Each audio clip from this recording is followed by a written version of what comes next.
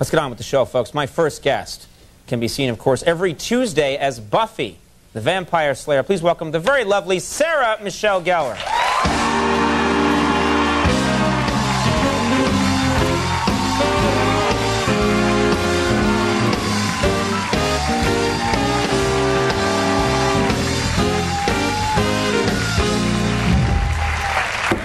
You look fantastic. Thank you. Thank you. Thank and thank you.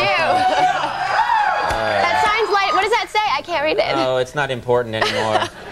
oh, okay. He wants to meet you. uh, big surprise. uh, you look. You really do look great. I love those pants. Thank what are those? Those are. um, what there, animal? no animals were harmed in the making of these fake pants. I'm just putting Right. that out there now. A plastic animal They're was killed plastic. for those. It was the plastic animal, the. Furby or a, one of Furby those. was killed for there your was pants. Furbies were killed in my Uh, not in your pants. Yeah. Okay. make, making right. I'm just trying to straighten it out so there's no confusion here. Thank you. Thank you. You're, uh, it's, it's great. We're, we were glad that we heard you were in New York City. You could do our show. Are you having a good time here? Are you, I have been having a good time. I I always say it's great to be uh, mistaken for a celebrity in New York. What happened? I, so I, I went to a party the other night and Mm-hmm. I was trying to leave and it was a little crazy and I saw someone much more famous than me leaving and I thought, oh, I'm just gonna duck behind them and no one will see that I'm leaving. And Glad I could help. thank you, I appreciate it. It was kind. And, and Such an idiot. Yeah. Okay. Sorry. So you duck behind someone So- to avoid like the press right, and the and mob. people that are outside. So I run into this car and I, I get in and I look and it's just not my car.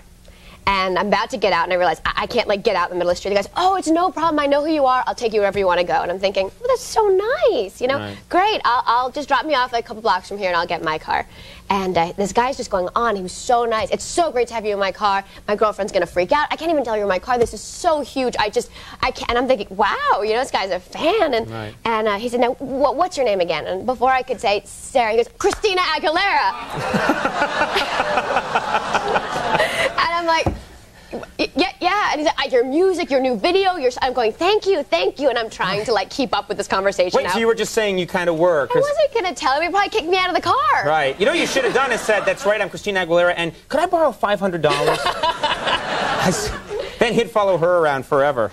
You went to, are you a, you're a sports fan? You, I, did I see you on TV on the, at the Knicks game the other night? I went. Let's hear from my Knicks. We're gonna win tomorrow. Come I on, somebody help me out. Thank you. Some, somebody have faith. Yeah, I did. You know. These guys would cheer pretty much anything you said at this point.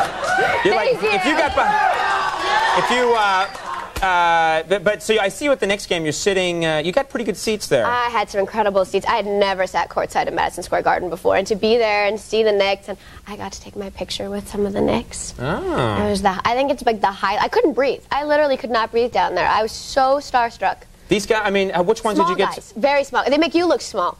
Oh, yeah, they do. They make. I'd be like, I'm 6'4", but in the NBA, I'd be a speedy little guy. You know? I was uh, it was uh, Patrick Ewing looks at me, and goes, "Damn, you're short." That's what he said to me. Well, in fairness, he says that to everybody, probably. I think he's over seven He's feet 7'1". tall. Yeah, He's yeah. 7'1". Yeah, he just walks around saying that all the time. Are you trying to belittle my meeting with Ewing? Is yeah, that what you're yeah. trying to do here? I'm going to belittle Patrick Ewing. Good idea. Yeah. No, I wouldn't do that. Was, was it cool? Did you have a good time? Did you enjoy the game? I, I just I had the best time and we won. I got I got a sweaty towel. Ugh. Well, that's a good thing. Why is why do you, you. why is that a why is that a good thing to get a sweaty It's towel? Used by the Knicks. That's, I don't care. It's, that's disgusting. I got one of the socks. okay. remind me remind me to cancel that gift I brought you from the game. You brought me one. Oh, okay. I was better. going to, but it's fine if you don't want it. We had no, no. I want the sweaty towel. Uh, no, it's fine. You don't have to fake it. Okay, good. I don't want it. Uh, we had a friend of yours here uh, the other day. You did. I Yeah, saw the show. We had David Boreanaz on the show, who of course plays Angel, and, And now is I doing was his own concerned thing. about sitting in this chair. I thought there was like itching powder in the chair. Why is that? Did you see him? Did, Yes, we did kind of notice this. okay, I'm going to say this really politely, but since there's no demure way to, he just kept picking his butt on the show. The, the whole, and, and- and I'm sitting in my hotel room. I have total jet lag. I just flown in, and I like I get home, like perfect timing. I watch it. I'm thinking, what is he doing? You know what? Actually, this is not made up or anything. He, he was doing an interview. Seems like a perfectly nice guy, and he kept. We actually have a still of the interview. He kept working away.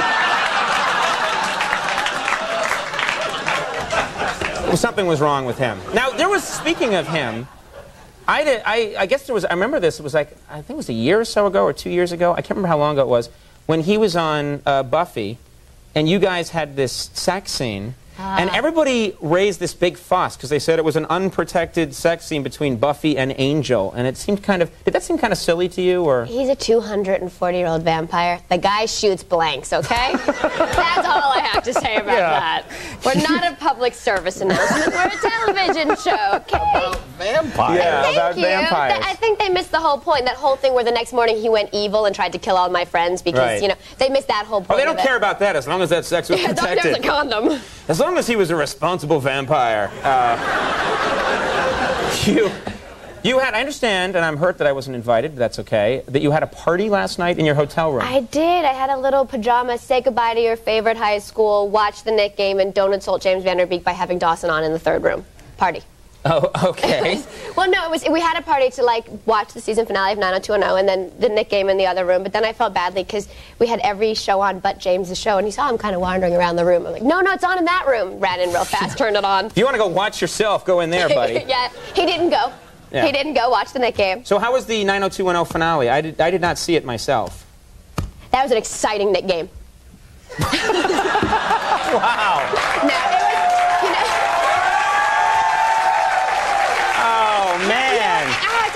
and, and You're I, in trouble now. No, I know, and it's no. when that cast comes off. after you, I mean, no, we'll get you. Uh, No, in, in, in defense, I don't really watch the show. I haven't watched it for years, so I was kind of lost watching years. it. It's been on ten years. I, I mean, know, and they're still in high school. No, was they on- actually they went to college. You know? I think I was in I was in eighth grade when the show started. I mean, so I watched it then. I was. It was. I actually saw a little bit of it, and we've commented on this. I mean, a lot of people have talked about this, but they really are. They, people make jokes about it, but I was watching, and they really are. Some of them are like they're they're in their early 50s. Some of them, Nat. Nat. and they're still like, yay! And, and I had to watch my Knick game, so I was running back and forth with my, with you know, just so I could check on both. But it was fun. it was a good time. It was All fun, right. except for the hotel.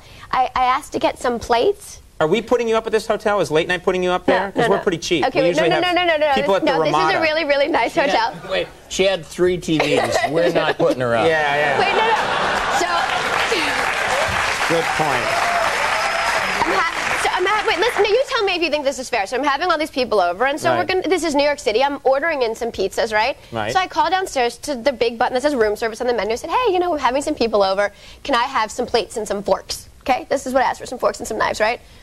Fifteen dollars without the tip. Wait a minute. I don't, I don't understand. That fifteen dollars to just rent Right. plates? So- okay, wait, but listen to this. What's the name of this hotel? Let's trash them on the air. and then everyone can come visit me at the hotel that I'm staying at. Wait, and then. Well, just whisper the hotel in my ear. I promise. No, I won't. Just whisper Wait, it. Don't and then, worry. And then when I call downstairs Just to whisper. complain, when I call downstairs to complain, when I called downstairs to complain, they said, "Well, you know, we charge 50 cents for every piece." I'm like, "You brought me five plates and five napkins. I mean, five forks. How do you charge 50 cents and then charge me 15 dollars? It's not nice." It's New York. That's the problem just with New York in general, in Manhattan. It's the only place in the world where if you get like a pat of butter, like with your meal, it actually shows up on the check. Needless to say, I made my friends use their hands. That's the end of the story. nice. Yeah. That's good. You should have just used uh, bed linens. I would have taught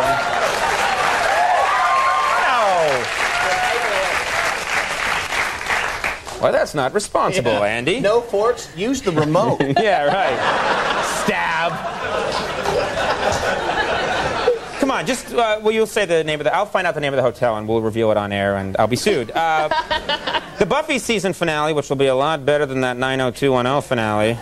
Trust me, airs next Nice, Tuesday. now. Next Tuesday at 8 on the WB. Uh, thanks so much for being here. Sarah Michelle Gellar, everybody. Michael Rapaport coming up.